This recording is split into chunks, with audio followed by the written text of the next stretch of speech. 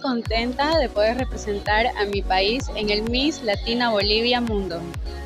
¿Cómo fue tu preparación para ganar este hermoso título?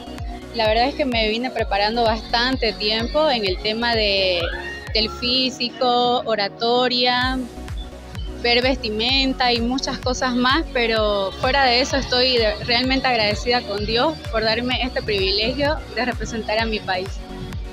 ¿Algunas palabras que quieras decirle a tus fanáticos, a tus familiares, a tus amigos que te ven, te siguen, te apoyan en todo lo que haces? Darles, decirles que muchas gracias por su apoyo.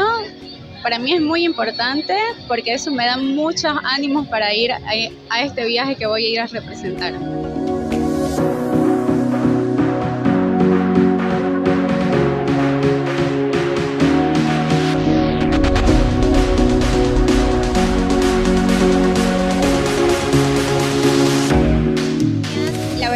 Yo me siento muy contenta, agradecida con mi gente y prometo dar lo mejor de mí.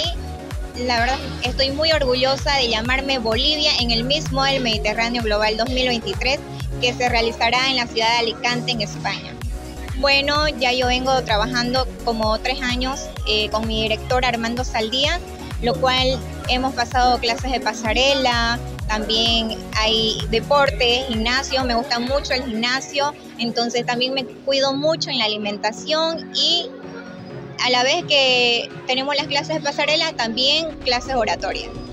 ¿Algunas palabras que le quieras decir a tus amigos, a tus familiares, a toda la gente que te sigue y te felicita también por ganar este hermoso título? Bueno, yo estoy contenta, como les decía, estoy muy contenta de de ver que todos mis amigos vinieron, estuvieron aquí presentes, estoy muy agradecido con ellos, sobre todo con mi mamá, que es la que me eh, apoya y me ayuda ¿no? a seguir adelante.